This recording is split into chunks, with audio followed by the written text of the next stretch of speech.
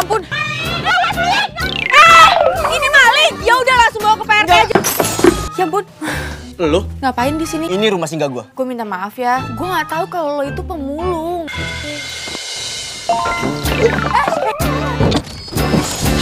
Kayaknya bahagia banget kamu sama dia. Dia itu pasti selingkuhan kamu kan?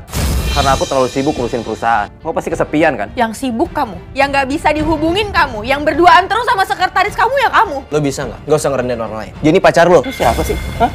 Itu siapa lo? Ikut campur lo. Gali sama Nino itu beda banget. Gali orangnya peduli, pintar, baik. Tapi Nino sama sekali nggak peduli dan egois. Kenalin, ini Siska. Dia teman kantor gue. Kayaknya dia jodoh gue deh. Bisa ketemu dua kali coba. Lo mau ngelanjutin cinta lo sama dia? Lo cuma bakal nyakitin hatinya Om Teddy. Apalagi nyokap lo. Wanita yang sangat mencintai lo di dunia ini. Lo mutusin gua. Ini semuanya karena orang tua kita kan. Gue mutusin lo karena emang kita nggak cocok aja.